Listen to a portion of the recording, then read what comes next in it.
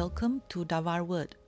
It is my pleasure to share with you what I have discovered in my walk so that we can learn and grow together. Someone pointed out to me that in Genesis chapter 1 verse 1, the first word, Bereshit, may not necessarily be a reference to time, even though almost every Bible translation translates it that way.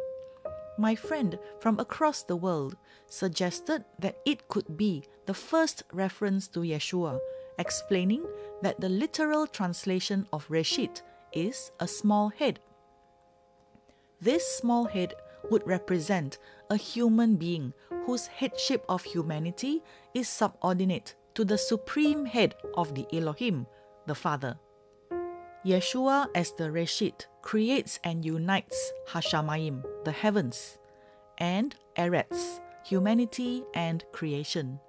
Therefore, the creation described is the reconciliation and redemption of creation by the middleman or mediator, one who is both Son of God and Son of Man.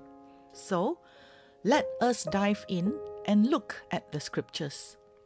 I do believe that there are many ways to interpret scripture and there are many layers to a word. Bereshit could also mean in the head. And yes, Yeshua created the Hashamayim, plural, and the Aretz, meaning the land or earth. Yes, of course, the Son of God, Yeshua, was present right there as creator of the heavens and the earth. John 1 verse 2 he was with God in the beginning. John 1 verse 3 All things were made through him, and apart from him, nothing was made that has come into being. John 1 verse 10 The world was made through him. Romans 11 verse 36 For from him and through him and to him are all things. 1 Corinthians 8 verse 6 one Lord, Yeshua the Messiah, through whom are all things, and we exist through him.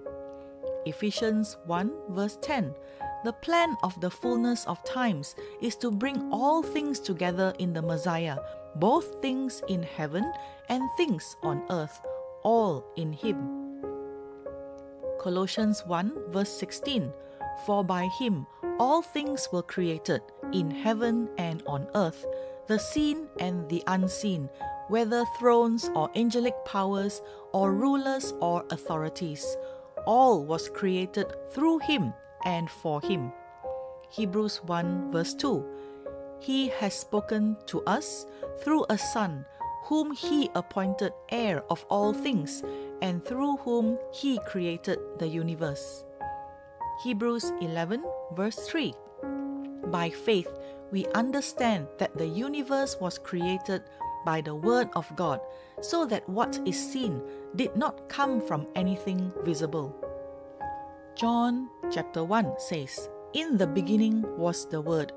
The Word was with God, and the Word was God. He was with God in the beginning. All things were made through him, and apart from him, nothing was made that has come into being. So, having researched all these, I am in complete agreement that Genesis 1 verse 1, Bereshit, is the first reference to Yeshua, literally, Bereshit, in the head. Thank you so much for your question, and I have learned something from you too. I pray that this sharing inspires and challenges all of us. God bless you and your family. Shalom.